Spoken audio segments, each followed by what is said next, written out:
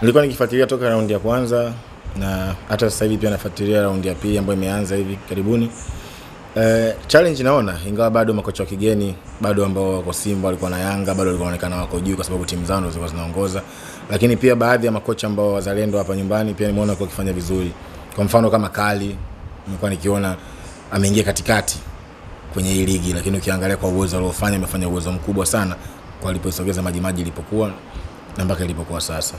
Kwa hiyo kwa makocha wazalendo naona nao wanapigana, ingawa pia ukiangalia hata uwezeshwaji wa timu zao nadhani kama hawafanani na vilabu vingine ambavyo vimesajili makocha kutoka nje ya nchi. Kwa hiyo naona pia kwa endapo kama watawezeshwa nao pia ni makocha wazuri. Kama Simba kwanza walikuwa na nani ambaye sasa hivi msaidizi huyu Mayanja na Omoge ambaye alikuwa Azam pia. E, anaonekana ni mtu wa kupenda sana vijana, ni mtu ambaye anakupa nafasi kwa mtu ambaye unafanya vizuri na ukiangalia hata raundi ya kwanza kwa performance aliyokuwa nayo ilikuwa ya hali ya juu. Hamna mtu ambaye alitegemea kwamba Simba itakuja kutetereka au itashindwa kuchukua ubingwa kwa msimu huu. Kwa hiyo nimeona Omogi kwamba ni mwalimu ambaye anaonekana na uwezo mzuri, kwa sababu kwanza cha kwanza anapa nafasi vijana, na ukiangalia Simba ya vijana ya safari hii ni nzuri, tofauti na Simba ya vipindi ambavyo vimepita. Msisimuko mzuri, kwanza naona kuna baadhi ya sehemu ambazo zamani unajua timu zilikuwa zikienda ulikuwa kabisa kwamba labda Yanga akienda kucheza labda sehemu Mtwara labda au Lindi anaweza akashinda mechi mkitegemea matokeo mazuri, lakini sasa hivi imekuwa ngumu kidogo kwamba hata Simba akienda kucheza wapi au Yanga mnategemea matokeo yoyote yale.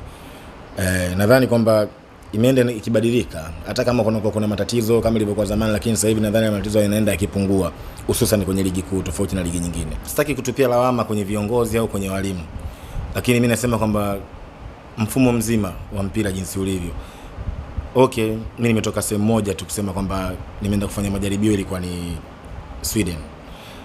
Unapokuwa unaenda kwenye majaribio kwa nchi za wenzetu kwanza wanakuwa wana kitu ambacho wanakitaka wao lazima uwe na cv ambao waangalie wewe umepita wapi profile yako. Mbali na hiyo unaweza kuanza kucheza timu ya taifa au timu ya taifa vijana au kubwa. Lakini kwa sisi nyumbani naweza tu mtu akatoka hapa akaenda kumchukua mchezaji Kongo au kumchukua mchezaji Nigeria akaja hapa akasainiwa Simba au Yanga au sijui African Lion akacheza. Kwa hapa kwetu sisi ni rahisi tu, ndio mwisho wa siku unakuja kukuta kwamba angalia katika wachezaji wote waliopita, sijui kina Okwi, Kiplecheche, ni wachache ambao wanazungumzwa kwa mtu fulani hata, lakini wengine mimi hata siwajui. Kuna wachezaji wengine ambao wako Simba, sio ambao wako wapi Yanga, lakini anapokuwa pro ni lazima wote tumjue, ambao tunapenda na kufuatilia mpira. Hawezi kawa anakuja pro afu anakaa sabu anakuja namba sita afu anazidiwa anacheza midimao tu siku zote.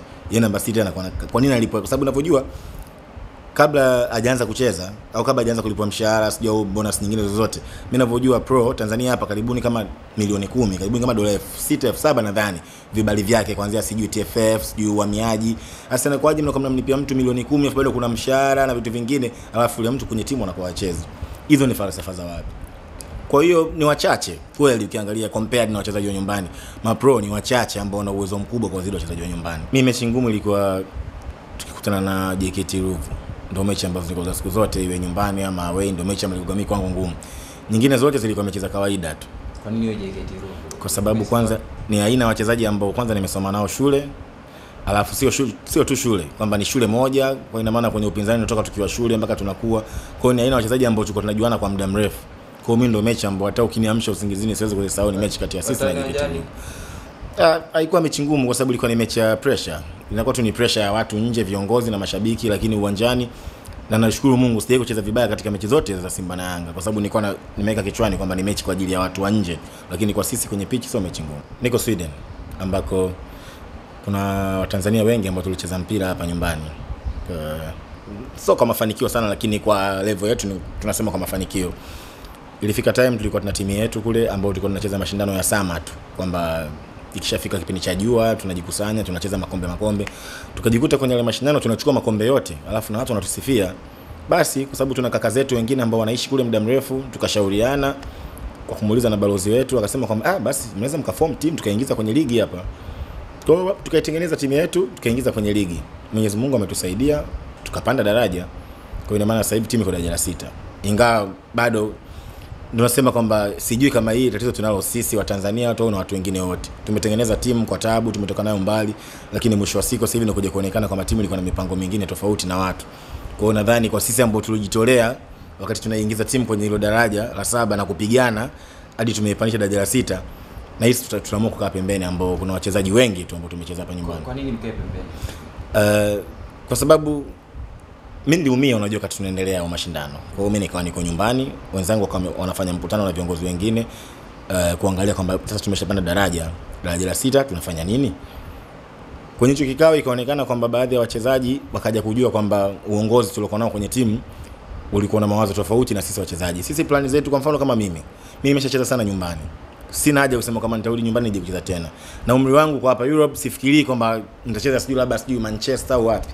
Kwa nikaangalia ili nisicheze timu nyingine tofauti, labda daraja la pili la tatu, kwa nini tusiwatengenezewa Tanzania njia? Kwa sababu ile timu itakapofika madaraja ya juu ni kitu kikubwa sana sana ambacho watu hawafikirii.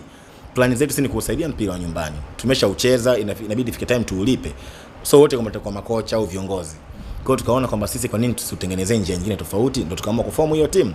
Sasa imekuja kuonekana kwamba kwa wale kaka zetu wanaotuongoza kama walikuwa na mawazo tofauti, baada ya wachezaji wengine wenzangu ambao walienda kwenye kikao kuulizia kwamba labda yesa plan za timu zikoje. Kwa mwisho wa siku sasa tumeona kwamba tunaenda tofauti na wao ili isifikie vibaya, tukaamua kwamba kuna kwa sababu niko mimi Athmani Machupa, Shehan Rashid, eh, Hamisi Abui na kuna baadhi ya wachezaji wenzetu ambao ni wageni wa nje. Kuna Mkenya anaitwa Michael Tieno au Obi, alafu kuna mchezaji mwenzetu pia Mtanzania lakini anacheza kwa level kubwa hapa anaitwa Ibrahim. Ni watu ambao tumeamua kukaa pembeni, tukasema kwamba ili tusigombane nao, wao waendelee na taratibu ambazo zinazofaa Watanzania. na wao ni Watanzania wote Shirikisho wana- uh, uh, wote? mm. hapa Tanzania. Eh, kwa kweli nadhani Sheyani alikuwa anawasiliana na rais wa TFF Malinzi kumwelezea plan zetu, nini tunataka tufanye. Uh, sidhani lakini kama amemfahamisha kujua kama sisi tena tumeshajitoa kule, kama hatupo tena, sifahamu kama ameshawasiliana kuhusu hilo, lakini ilikuwa plani zetu kubwa ni hizo, kwamba baada ya kuipandisha sasa, tulikuwa tuna plani kwamba tuje huku kwa ajili ya kukutana labda na waziri wa sanaa na michezo, kumfahamisha kwamba sisi kama Watanzania tumeamua kuform kitu fulani ambacho kitakuja kuwa kikubwa sana kwa maisha ya mbele ya Watanzania vijana wanataka kucheza mpira wa kulipwa nje. Changamoto zipo kwa sababu daraja la saba kupata wadhamini ni ngumu, kwa hiyo ilikuwa mara nyingi tunajikusanya sisi wenyewe mwenye uwezo wowote, tulikuwa tunasaidiana, na pia kulikuwa kuna rafiki yetu ambaye ni Mkenya anaitwa unyango Clay eh, uh, akitusaidia pia sana, kwa sababu amekuwa akitoa hela kutusaidia timu kwa baadhi ya vitu. Kwa hiyo tukajikuta tunasogea, lakini plani zetu zilikuwa ni kwamba tusogeze timu sehemu fulani ambayo wadogo zetu watakuja kupata sehemu ya kuanzia Ulaya, ambayo ni kitu kikubwa. Alafu sio sisi tu, kuna mataifa mbalimbali, kuna watu kama wa Syria wana timu ambayo iko daraja la kwanza ambao sasa hivi ni kubwa, ni professional ambayo inalipwa hela nyingi na sajili wachezaji kutoka nchi za nje, na plan zetu sisi ni hizo, kwa sababu sisi tumecheza mpira Tanzania. Leo hii kwa mfano mimi niko huku timu iko kule, wale watanituma tu kina Machupa kina Shan na uongozi mwingine kama Credo, tunataka midfield, wewe uko Tanzania, mwingine na ambaye atakayetusaidia. Hizo ndio zilikuwa plan zetu. Sasa tumekuja kuumia na kusikitika sana baada ya kuona kwamba plan zetu zinakuja kuvurugwa na watu ambao hatukutegemea kabisa, kwa sababu ni kaka zetu kabisa. Sasa hivi kwanza nafurahi kwanza, unajua hata ukiangalia kwenye mafamilia kwenye majumba um, uh, Mbwana Samata ameinspire watu wengi sana kwamba hata wazazi sasa hivi wanasukuma watoto wao kwenda kwenye hizi academy kutoka nje hata kucheza tofauti na zamani. Uh, ukiangalia ligi kuu ya sasa hivi hata kwa watu wazima ambao tumecheza muda mrefu kidogo ni wachache ambao wapo kwenye ligi, bado wengi ni vijana. Lakini kuna kitu kimoja ambacho kuna baadhi yao mimi marafiki zangu sana kama Imidi Mao, uh, Shabalala ni watu ambao wanaongea nao kila siku ya Mungu kwenye simu kwa ajili ya kueleza baadhi ya vitu. Uh, wanacheza bila kuwa na malengo vijana anaweza kawa mtu labda yuko Simba au yuko timu nyingine, anacheza ajui nini anataka. Sasa mpira wetu wa nyumbani jinsi ulivyo, una muda na kipindi ni kifupi tu, kwa sababu kwanza Mwenyezi Mungu pia anatusaidia kwamba injuries hawapati kwa, kwa sababu ukija kwenye matibabu hatuna matibabu mazuri sana, kwamba mtu akiumia anaweza kurudi kama alivyokuwa mwanzo. Kwa hiyo wengi nawaona wana uwezo mkubwa sana, lakini mtu acheze kwa kujua na malengo gani. Kwa ndio maana season hii mtu anacheza vizuri, season inayo acheze vizuri, hii anacheza na plani zake, mwisho wa siku anataka acheze ili afike wapi. Professional ndio kitu cha mwisho kwenye mpira. Kwa Tanzania hatujafikia bado kwa professional. Kwa hiyo wengi na na- nawapenda sana kuwashauri wengi kwamba acheze akiwa na ya kufika mbali. Hao ambao wamefanikiwa, angalia maisha wenzake ambao wamefanikiwa au kina Samata kina Ulimwengu, ijaribu kuwa changamoto kwao kwamba kucheza ukijua nini unataka. Usicheze kwa kufikiria mimi Simba au mimi tu Majimaji au mimi tu Azam. Hapana. Ah, Hapana, kwa kurudi nyumbani nitakuwa muongo. Kwa sababu nimesha nimeshakuwa na mazingira mengine tofauti. Ni sawa sawa na kumtoa Mchina ambaye yuko Guangzhou anafanya biashara, umlete sokoni Kariakoo. Kwa hiyo bado una mpango wa kurudi Sweden? Eh, kwa sababu ndo sehemu ambayo Mwenyezi Mungu akijali anakwenda kuanzisha maisha yangu kuishi kabisa, hata baada ya mpira nitakuwa nikiishi huko. Eh, ilikuwa Kilimanjaro FC ndio hiyo ambayo Watanzania tulikuwa tunasema, lakini kwa sasa baada ya kukaa pembeni Sasa nikirudi ndo nitajua nini nifanye, kama nitaenda timu nyingine daraja la juu ama la chini. Mi nasema kwenye chama cha mpira malalamiko yamekuwa mengi sana. Si tunakuwa tuko mbali, lakini tunasoma sana vyombo vya habari sana. EATV wana peji zao nyingi tu, tumekuwa tukifuatilia, tunaona habari tena kuliko hata ambao wako nyumbani. Nadhani malalamiko yako daraja la kwanza, la pili. Najua sio rahisi kumaliza matatizo kama hayo, lakini ili mpira wetu ufike mbali, ili tufike mbali, kuna vitu viwili tu tunavyotaka kuvifanya. Ni lazima tuboreshe ligi yetu ya nyumbani, nikimaanisha mfumo wa kuanzia timu za vijana hizi, sijui ligi za vijana mashuleni, sijui wapi.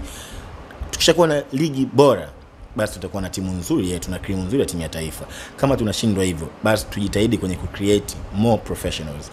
Tutakapokuwa tuna ule utaratibu wa kupeleka wachezaji nje ya nchi, TFF, kama kuna chochote kile ambacho kwa kuwa mameneja ama maagent kuweza kuwatengenezea watu utaratibu wa kwenda kucheza mpira nje wengi, tutakuwa na mafanikio. Lakini kama tuna hivyo vitu viwili, hatutofikia ndoto yoyote. Tutakuwa tunabahatisha bahatisha tu kwenye hili mashindano ya kimataifa ya clubs, mashindano ya kimataifa timu ya taifa, hatutakuja kuwa tunafanya vizuri hata siku moja. Uh, mimi bwana, na, na zangu uh, watoto wa dada zangu na kaka zangu ndo watu ambao nawapenda sana. Ni mii muda wote ambao nikiwa niko free yani ndo huo muda wote natumia kucheza nao ambao kuna atu kuna josh zion na datu na watu ambao ndo muda wote miao ndo furaha yangu. Liverpool vibaya mno. Eh, eh, sasa mwenyezi mungu anatupa this time. Eh, hapa nyumbani. Uh, nyumbani honestly mimi ni friends rangers 2 okay. ndio timu ndio timu yangu ambayo ikifungwa naweza hata nikachanganyikiwa nisilale. Sio mwanachama wa Yanga yaani friends rangers peke yake mimi ikifungwa silali ikiwa wachezaji hawana nauli mimi silali yaani nitachanganyikiwa vibaya vibaya lakini the rest sina timu nyingine mchezaji anayekuvutia tanzania na hata nje ya nje ya tanzania eh, mmoja mmoja mmoja mm. eh, kwa tanzania wako wengi wanaonivutia sana tena eh, lakini kwa sasa hivi nyuma na aliyekushawishi wewe unapenda kumwangalia. Ah, kwa kipindi cha nyuma nilishai kumwonaga, wahi kumwona hivi akicheza, lakini niliwahi kumwona nikiwa leaders. Nakumbuka nilikuwa nimeenda kuangalia, nikakuta watu wazima wanacheza, nikamuulizia yule nani, nikaambiwaga Mtemi Ramadhani. Ah, okay. Napenda sana jinsi anavyocheza vile sana sana. Wengine sikuwaona hata hata yeye sikumuona, lakini kwa utu uzima wake alikuwa nao almost 50 something, it was like late 50s hivi, lakini kwa uwezo alikuwa anauonyesha, nilisema mzee katika ujana wake alikuwa anajua sana mpira. Kwa sasa Uh, sasa Imidi Mao napenda jinsi anavyocheza, napenda jinsi anavyojituma, napenda discipline yake. Kwa Imidi ndo na nje nje ameacha mpira juzi Steven Gerrard. Yeah, lakini nijua sababu chama Liverpool lazima kwa, kwa uchezaji wake Ah, okay. lakini kwa mapenzi yangu ambayo toki niamsha usingizini ni Lino Messi. Okay, sasa sio Cristiano Ronaldo. ah, ah, ah, ni Lino Messi.